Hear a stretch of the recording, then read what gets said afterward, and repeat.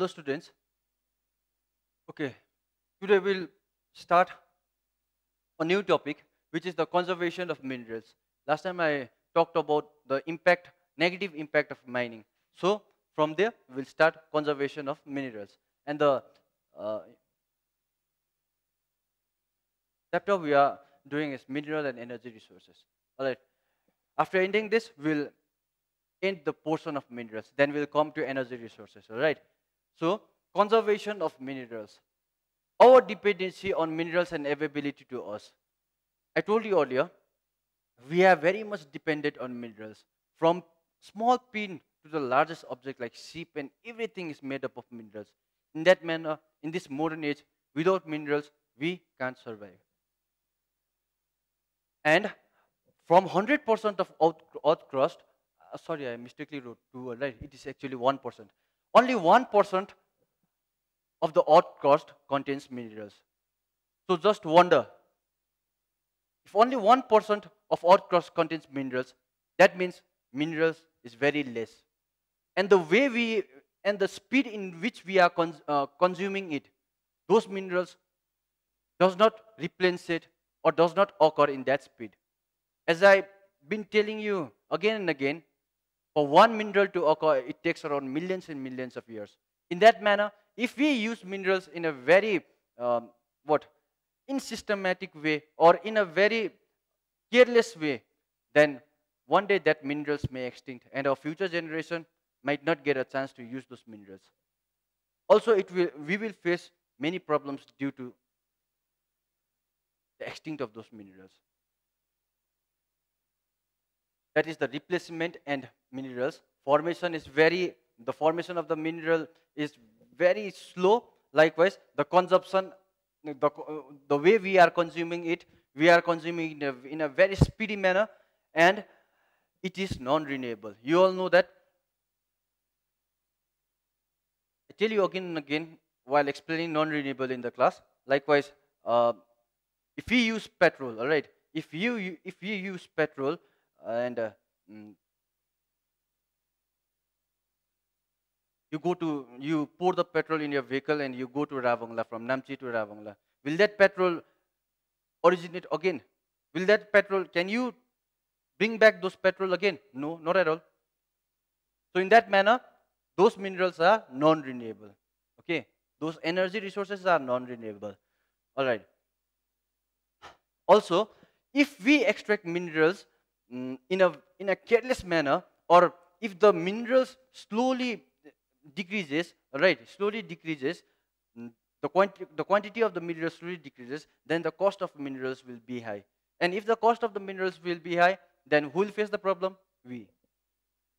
And also, if we um, keep on digging those minerals, extracting the minerals, and the uh, near the minerals which are formed near the earth crust gets extinct.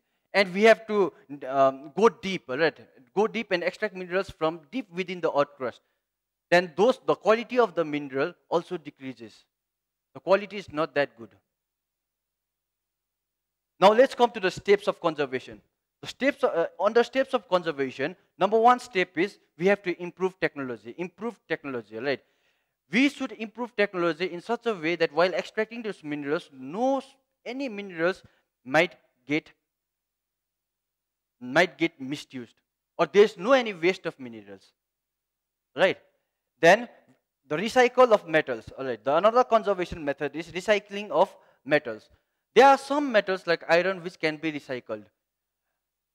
Uh, in simple words those bottle wallahs comes in your come in your house right? They take bottle and uh, uh, along with bottle they take stoves and uh, things that are made up of steels and irons. Do you think th those guys are taking those um, stoves and uh, those rotten irons just to throw? No, at all. They take it so to what? Recycle it, yes or no? And in that manner, recycling metals, just throwing it uh, uselessly is extinction, uh, is the way to ex extinction of minerals, right? We must recycle those minerals which can be recycled. Likewise, iron, steel, etc. Using other alternatives and substitute. Likewise, um, You don't have to use cars now and then. Yes or no? We can walk. That is the alternative. Or we can use bicycle. In that manner, we will, what, what we are doing is we are preventing or conserving petrol or diesel. Okay, this is the conservation of minerals. So now we have ended the portion of minerals. Now we'll come to energy resources. Okay, energy resources, its need. Okay, what is the need of energy resources? And the energy resources, coal, petroleum, electricity, everything comes under energy resources. The battery that we use is made up of energy resources. Likewise, the electricity that we use is made up of electric, uh, is made up of energy resources. In that manner, energy resources is very important in our life. Also, the video that you are watching right now, you are using it because you are charging your phone. Because that energy resources is helping you to charge your phone and you, you are able to watch it. Without energy resources, even those phones are useless. So, energy resources is categorized into two types, which is conventional resource and non-conventional source. Okay, let's talk about conventional source. Conventional, conventional source are those energy resources which we've been using from the past years, which we are using uh, from the past, all right? Likewise, non-conventional resource uh, source are those uh, resources which we are using recently or the discovery of those energy resources has been done recently. Non-conventional resources are those resources which cannot be renewed. It is on. Uh, it is. Uh, it destroys the environment. Okay. It is uh, not friendly to the environment. Likewise, non-conventional uh, resources are those resources which can be renewed or which is, uh, and it, it is uh, friendly to environment. It does not destroy environment. Okay. The concept that we, uh, the conventional source resource that we will uh, study today is coal, petrol, natural gas, and electricity. And under non-conventional resources, natural uh, or atomic energy, solar energy, wind energy, biogas, tidal energy, and geothermal energy. Today we'll complete this portion, and the another portion we'll do in the next class. So let's talk about coal. How is the formation of coal done?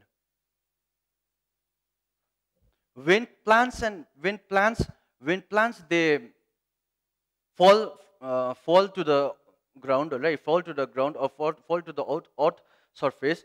Slowly according to time different soil what they do is they uh, bury those plants or they bury those unborn plants right? Unborn plants slowly it gets compressed and according to time it gets buried deeper and deeper compressing it, the pressure of the, the pressure of the soil and the land compressed, makes it compressed. And when it makes it compressed, slowly there is a um, formation of coal, right? It takes around lots of years and there is a formation of coal. And you all know coal is not considered as one of the, um, one of, a resource which is environmentally friendly. Why? Because it emits lots of smoke with it. And it is it, it can destroy the ozone layer too and it can create lots of air pollution and so on. So likewise degree of compre uh, compression. One thing is degree of compression depth. At what depth it is right? How deep that coal is. And the time of burial. And one thing the form uh, one uh, thing that depends upon the formation of coal is time of burial. Uh, how long it has been down the earth crust. Okay, this coal is uh, characterized into two types, or uh, we can uh, we can uh, there's two types of categories of coal. Number one is on the basis of quality. Okay, on the basis of quality, there is four types, which is peat, lignite, bituminous, and anthracite. Okay, peat has the quality of peat or the quality of peat coal is low carbon. If there's a high carbon, the burning uh, properties is high. Okay. Or it can create lots of heat. Likewise, when it has low carbon, that means peat is a low quality coal. And it has high moisture. It is found in a, uh, lots of liquid is found with it. Or the coal that is, which is peat is wet. In that manner, it is very what? Low quality coal and low heating capacity. When it is wet and when it has low carbon, it has very low heating capacity too. Another one is lignite. It is low grade brown coal. Coal usually is black. The coal that we see in markets and that the coal that we use is usually black. And when it is brown, something is wrong with this coal, right? It is low grade. And lignite is soft with high moisture content. It is very soft. Usually the coals are very hard. And how um, the heat which the coal produce uh, depends upon hardness too. The, and this lignite coal is very soft. Along with it, it contains high moisture. It is very wet. Now let's come to bituminous. Bituminous, it is found deep inside the earth, right? When any coal is found very deep inside the earth, that means it has taken lots of time, okay? It has taken lots of time or that coal has been originating, originating under the earth crust from millions of years back. And in that manner, that coal is very good in quality. And there is a fight between, uh, and we can say bituminous and anthracite are rivals because they have very much competitions. Okay. The burning, the burning, uh, the heating capacity of this coal is very high. The, uh, as uh, as it is what as it is found uh, in the in the in the area or in under the earth crust where the as it is found in in a depth right? In the depth of the earth crust, earth crust it is found deep under the earth crust we all know when we go deep under the earth crust the temperature is very high. Why? Because due to the lava and whatnot things which is uh, which is in the core of the earth. And as it is found in the high temperature this coal has lots of heating capacity and this coal is commercial use, which means this uh, coal is used in various industries, likewise iron and steel industries, so to smelt those iron. Smelting literally means to, uh, this coal is used so to separate iron from its ore. Now let's come to the last category, which is anthracite. Anthracite has the highest quality is the highest quality coal, right? And it is very hard coal. It does not have any moisture with it. It is very hard. It is not soft at all. And it is found in a very deep, it is found uh, deep under the earth crust. And in that manner, these things are the topics that you, you need to memorize hard. Okay, now, and uh, there is another uh, uh, characteristics too, or we can categorize coal into another sections too, which is number one is on the basis of quality, number two is on the basis of age too. On, on the basis of age, there is two types, which is uh, number one is Gondwana, on the uh, number one is Gondwana coal, and number two is tertiary coal.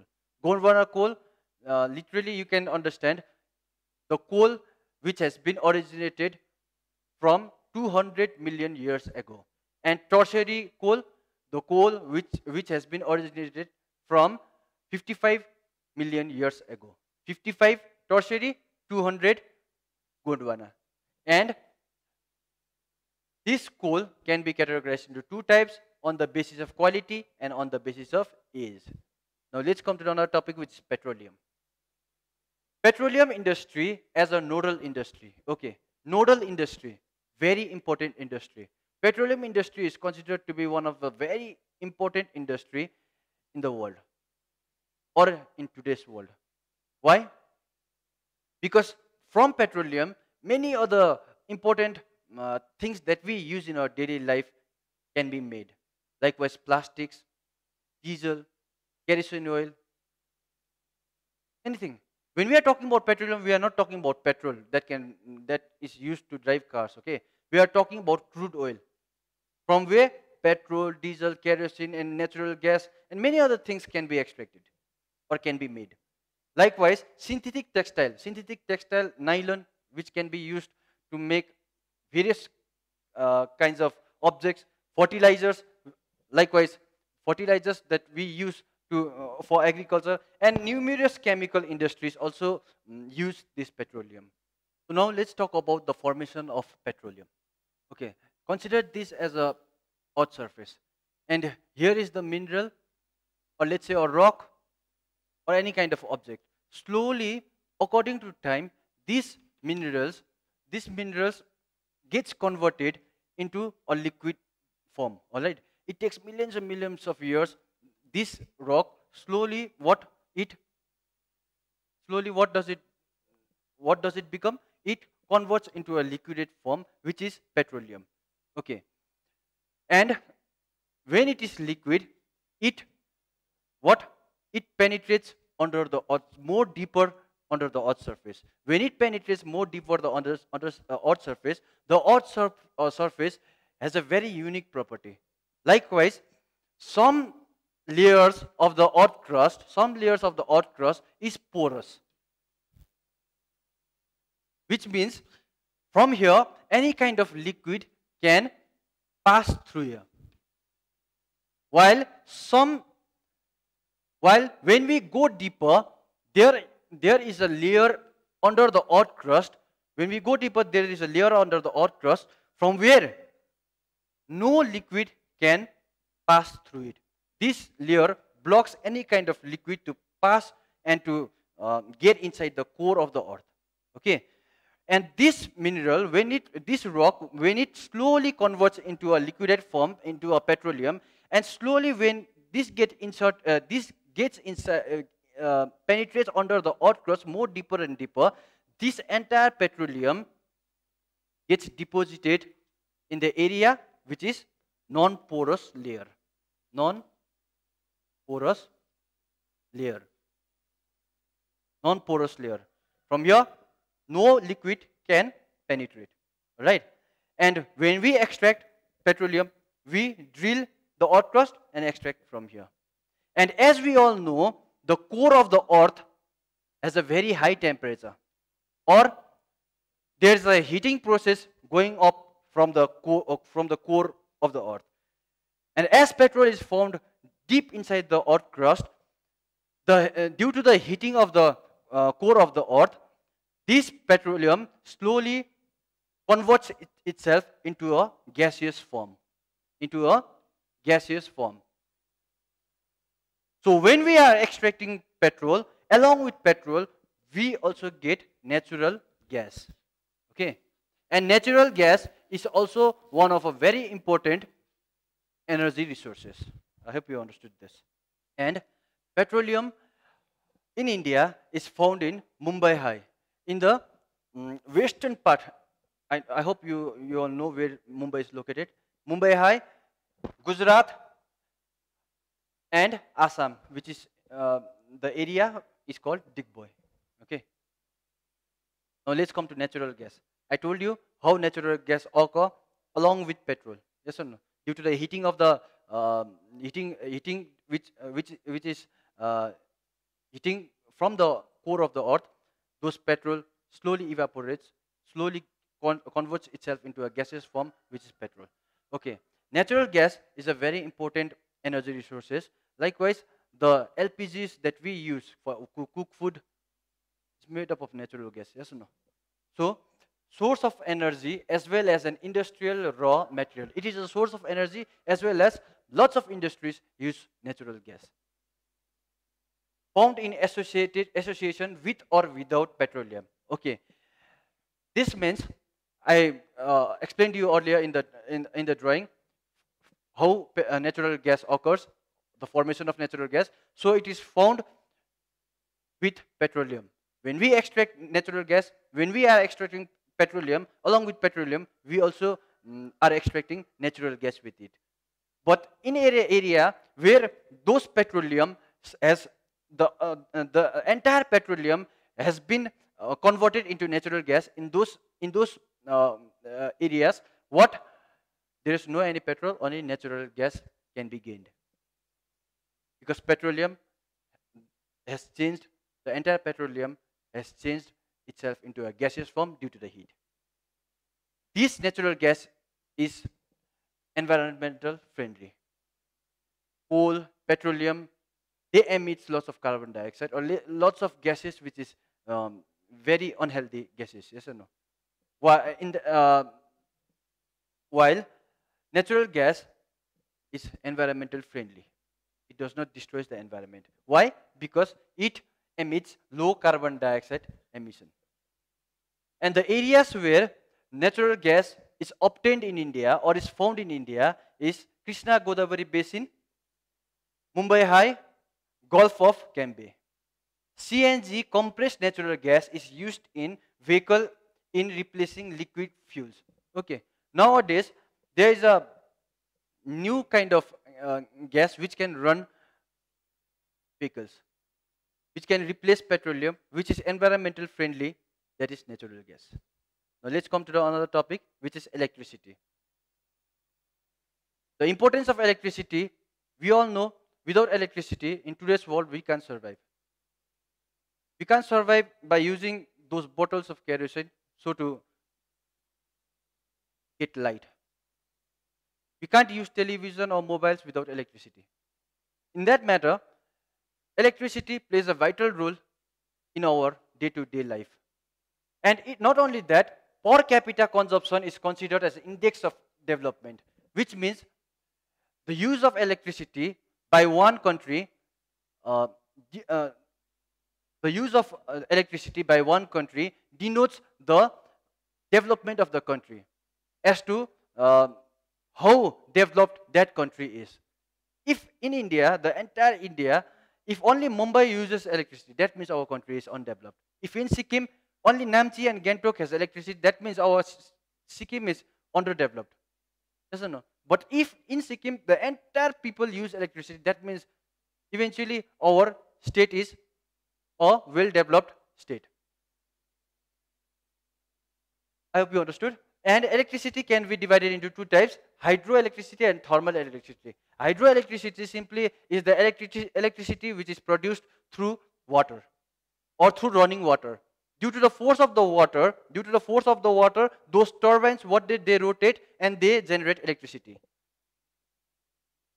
It can, it can also be called multi-power river projects dams like Bhakra Nangal Dam, Damo, uh, Damodar, uh, sorry, there's a spelling mistake, Damodar Valley Corporation. These are multi-power river projects or dams which helps in generating electricity in our country.